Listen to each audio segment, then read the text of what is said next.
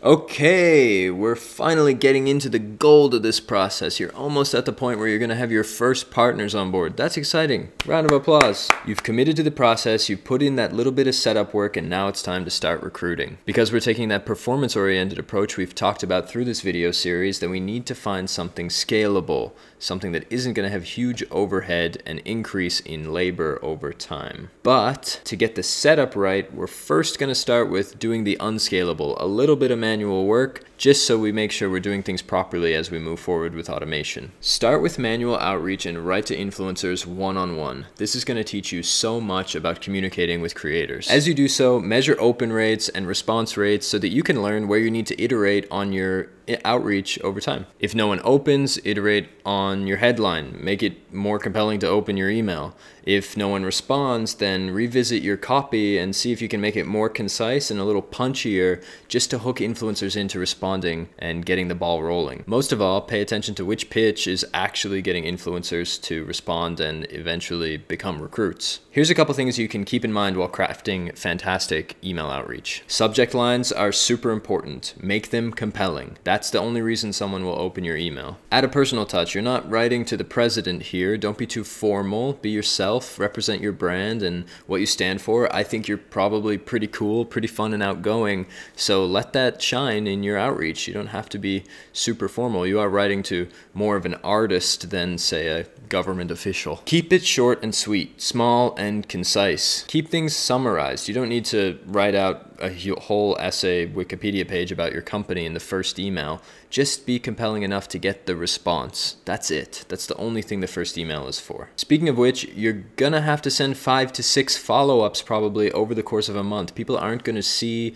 open, and respond to the first email that you send in most cases. Once you hit five to six follow-ups, you can start to really spread out the distance and maybe follow up with people every three months or so to see if something's changed, but make sure you don't stop at one or two emails. You can also go multi-channel and throw in a couple of direct messages on social to point people in the direction of your original email outreach. Creators are getting so many messages that going multi-channel can sometimes help get their attention to you in the email inbox. Bonus point to remember to stay human and add that personal touch that I mentioned before. Okay, now that manual outreach should be working, looking pretty good, you have decent open rates, good response rates, and you have your first recruits already onboarded to your program, you can think about automating and scaling this up. In order to get emails at scale, you can use Modash. If you're not sure how to do that, then ping us or check out our product tutorials in our blog or in our video series about Modash. There's so many ways to automate email outreach. Usually, especially in the beginning, we recommend to just use the tool that your team is already using. Your customer support team,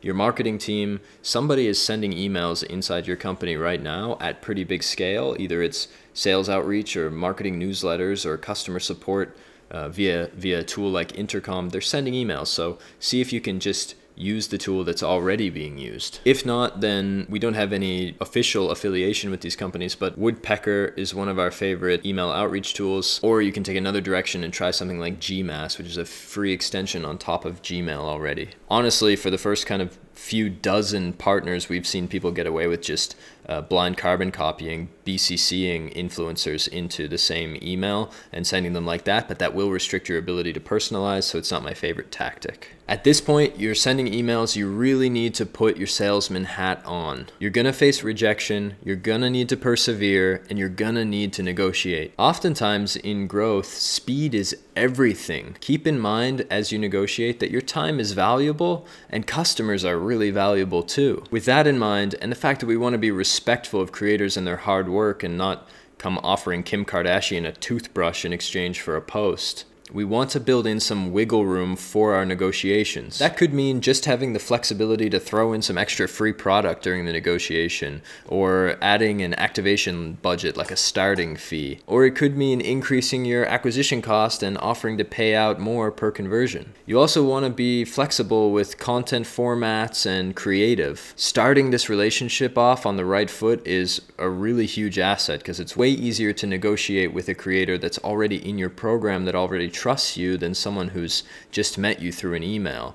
So be flexible, especially in the beginning, and get that relationship started. You should, however, really focus on those acquisition based payouts. You don't want to be paying per piece of content or per post because you can't optimize it over time. It's not going to scale very well and it doesn't necessarily guarantee ROI. On top of that, it's probably going to be significant upfront costs and you just can't guarantee the return. To bring it all together, our goal is to set up and scale an influencer recruitment strategy. That means writing emails manually and sending them manually at first so you can learn what works, then automating them using a tool like Gmass or Woodpecker, whatever you use in-house, making sure you Stay human and add the personal touch whenever you can. Empathize with creators. Be flexible with your budget or your product if you have to be. Put on your salesman hat and be ready to negotiate. Thank you so much for watching this video. Make sure to write us if you have any questions about recruiting influencers, which tools to use, how to get emails, anything like that. Modash.io. Hit us up in customer support or ask for a call and we'd be happy to oblige you. Have a lovely day and see ya in relationship management, the next video in this series. Learn some tips and tricks